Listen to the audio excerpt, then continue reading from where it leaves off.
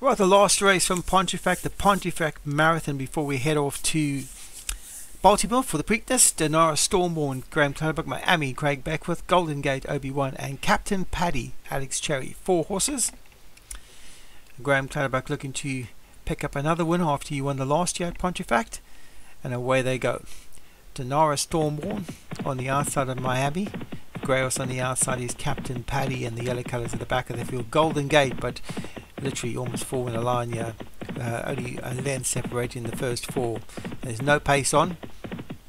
Captain Paddy, the leader from Denara Stormborn on his inside. Then comes Miami. Um, up on the rail is Golden Gate. Almost four in a line in the Pontefract Marathon. And it's they're coming to the home straight for the first time.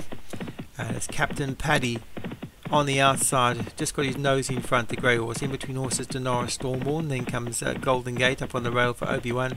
And Miami's at the back of the field. So Captain Paddy, the grey horse, the leader. From Denara Stormborn in second. Then comes Golden Gate as they come down the home stretch for the first time. Captain Paddy, the leader. From Golden Gate up on the inside for Obi-Wan. They pass the winning post for the first time and head out in their final circuit. The leader is Captain Paddy the Grey with Golden Gate up on the rail. Then Denara Stormborn who's just passed that one now in Miami, only about three lengths off the leader. So Alex Cherry's Captain Paddy takes him down towards the backstretch from Denara Stormborn in second for Graham Clutterbuck. Golden Gate is on that one's inside and the yellow colours for Obi-Wan and Miami for Craig Beckwith with those white sleeves and white cap is back in fourth. So Captain Paddy, the grey horse, leads them from Golden Gate in second, about three lengths back. On that one's outside Denara Stormborn in the Welsh flag colours. Then comes Miami back in fourth. So Captain Paddy, the leader, from Golden Gate in second. Miami back in third as Denara Stormborn trails the field. I can't really see what's going on, so we'll just watch the front horse travel along. So Captain Paddy leads from Miami in second on the outside of Golden Gate. Denara Stormborn at the back of the field, about three lengths behind the lead horses. So in that uh, brief moment when I couldn't see anything, Denara Stormborn has dropped to the back of the field. He's now about three lengths behind the last horse, uh, the third horse. So Gold, Captain Paddy leads the grey horse from Golden Gate in second, Miami is on that one's outside, then comes Denara Stormborn at the back of the field. They've still got a long way to go, there's about 10 furlongs left to travel. There's the horse Captain Paddy in, lead, in the lead, Miami is now clear second. Uh, the yellow colours of Obi-Wan's Golden Gate behind that, and Denara Stormborn looks on from the rear for Graham Clutterbuck, but it's a long way to travel still. It's only about four lengths off the leader as Alex Cherry's grey, grey with the orange sleeves. Orange cap is distinctive colours for Alex Cherry leads. Um, from Miami in second with those white sleeves and white caps for Craig Beckwith, who's leading the Chambers Flat uh, Trainers Championship on prize money at present.